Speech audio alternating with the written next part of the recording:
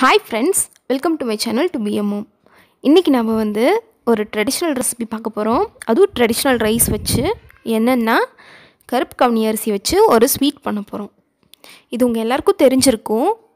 தெரியாதவங்களுக்கு யூஸ்ஃபுல்லாக இருக்குங்கிறதுனால நான் பண்ணியிருக்கேன். ஸோ தெரிஞ்சவங்க ஸ்கிப் பண்ணிக்கோங்க.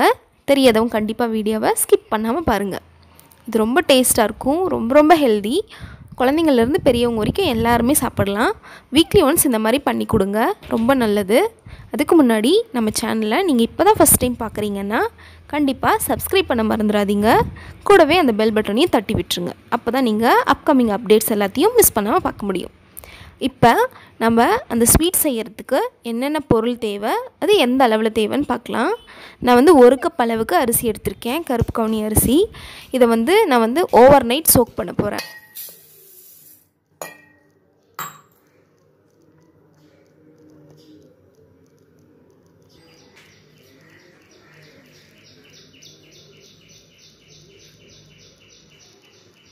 உங்களுக்கு டைம் இல்லைன்னா நீங்கள் ஒரு அஞ்சு மணி நேரம் வந்து சோக் பண்ணால் போதும். பாருங்கள் நான் வந்து ஓவர் நைட் சோக் பண்ணிட்டேன். தண்ணி எப்படி இருக்குன்னு பாருங்கள் நீங்கள் வந்து சோக் பண்ணும்போது நல்லா வாஷ் பண்ணிவிட்டு நீங்கள் எந்த தண்ணி ஊற்றி குக் பண்ணுவீங்களோ அந்த தண்ணி ஊற்றியே ஊற வச்சுடுங்க. அதுதான் ரொம்ப நல்லது. பாருங்கள் நான் ஓவர் நைட் சோக் பண்ணியும் அரிசி கொஞ்சம் திக்காக தான் இருக்குது கொஞ்சம் பாயில் பண்ண டைம் எடுத்துக்கும். ஸோ நீங்கள் வந்து ஓவர் நைட் ஊற வைக்கிறது தான் ரொம்ப நல்லது. இப்போ எப்படி பண்ணலான்னு பார்க்கலாம். இது வந்து இப்போ நல்லா பாயில் பண்ணி எடுத்துக்க போகிறோம் நான் வந்து பாத்திரத்தில் பாயில் பண்ணுறேன் நீங்கள் வந்து குக்கரில் பாயில் பண்ணுறதா இருந்தால் ஒரு டம்ளர் அரிசிக்கு மூன்றரை டம்ளர் தண்ணி ஊற்றி பாயில் பண்ணுங்கள் பாத்திரத்தில் பண்ணுறதா இருந்தாலும் நிறைய ஊற்றுங்க இது குழஞ்சா கூட பரவாயில்ல நல்லா தான் இருக்கும். ஆனால் வந்து வேகாமல் இருந்தால் நல்லா இருக்காது. ஸோ நீங்கள் தண்ணி சேர்த்தி ஊற்றிக்கோங்க இப்போ இது பாயில் ஆகிட்டு இருக்கட்டும். அடுத்து நம்ம என்னென்ன பொருள் தேவைன்னு பார்க்கலாம். நான் வந்து ஒரு அரை மூடி தேங்காய் எடுத்து அதை வந்து நல்லா துருவி வச்சுக்க போகிறேன் துருவிட்டு அது கூடவே வந்து ஒரு மூணு ஏலக்காய் எடுத்திருக்கேன். உங்களோட டேஸ்ட்டை பொறுத்து நீங்கள் அரிசி எவ்வளோ எடுக்கிறீங்களோ தேங்காய் எவ்வளோ எடுக்கிறீங்களோ அந்தளவுக்கு பொறுத்து நீங்கள் பொருள் மாற்றிக்கலாம் நான் மூணு ஏலக்காய் எடுத்திருக்கேன். அப்புறம் வந்து நான் நெய் எடுத்திருக்கேன். இது வீட்டிலே செஞ்ச நெய் இதுதான் ரொம்ப டேஸ்ட்டாகவும் ரொம்ப மணமாகவும் இருக்கும். இப்போ அரிசி வந்து ஒரு முக்கால் பதம் அளவுக்கு பாயில் ஆகிடுச்சு இன்னும் கொஞ்சம் நேரம் பாயில் ஆகணும். ஸோ அதுக்காக வெயிட் பண்ணுவோம்.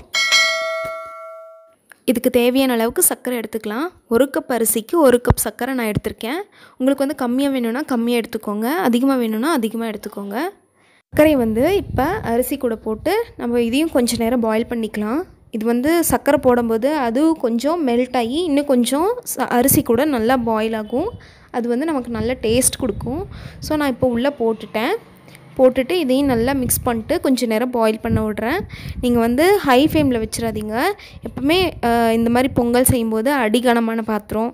அப்புறம் லோ ஃப்ளேமில் வச்சு பாயில் பண்ணுங்கள் சர்க்கரை போட்டதுக்கு இது வந்து சீக்கிரம் அடி பிடிச்சிடும் கிளறிட்டே இருக்கணும். அப்போ தான் இது வந்து அடி பிடிக்காமல் இருக்கும். அடுத்து நம்ம வந்து ஏலக்காய் இது கூட சேர்த்துப்போம். மூணு ஏலக்காய் எடுத்து வச்சுருந்தேன். மூணையும் தட்டி வச்சு இப்போ நான் இது கூட மிக்ஸ் பண்ணிட்டேன். இது கூடவே வந்து நான் நெய்யும் சேர்த்திக்க போகிறேன் நெய் வந்து ஒரு மூணு ஸ்பூன் எடுத்திருக்கேன். நீங்கள் உங்களுக்கு எவ்வளோ வேணுமோ அவ்வளோ எடுத்துக்கலாம். உங்களோட இஷ்டம். உங்களுக்கு நெய் பிடிக்குன்னா நீங்கள் நெய் சேர்த்தி எடுத்துக்கோங்க. இல்லை வேண்டாம் அப்படின்னா சும்மா ஒரு டேஸ்ட்டுக்காக ஒரு ஸ்பூனாவது சேர்த்திக்கோங்க. அதுதான் ரொம்ப நல்லாயிருக்கும் இப்போ வந்து நான் ஒரு மூணு ஸ்பூன் எடுத்துக்கிட்டேன். இதையும் சேர்த்து இது எல்லாத்தையும் நல்லா மிக்ஸ் பண்ண போகிறேன் மிக்ஸ் பண்ணிவிட்டு கொஞ்சம் நேரம் பாயில் பண்ணி விடுறேன். இப்போ வந்து நம்மளோட ஸ்வீட் வந்து ரெடி ஆயிடுச்சு. இந்த மாதிரி கன்சிஸ்டன்சி இருக்க மாதிரி பார்த்துக்கோங்க. இந்த மாதிரி இருந்துச்சுன்னா தான் ஆறும்போது கரெக்டாக இருக்கும். இப்போ வந்து நெய்யில் வந்து கொஞ்சம் சூடு பண்ணி முந்திரியும் திராட்சையும் போட்டு வறுத்து அதுக்குள்ளே சேர்த்துக்கலாம். அவ்வளோதான் நம்ம ஸ்வீட் ரெடி ஆயிடுச்சு.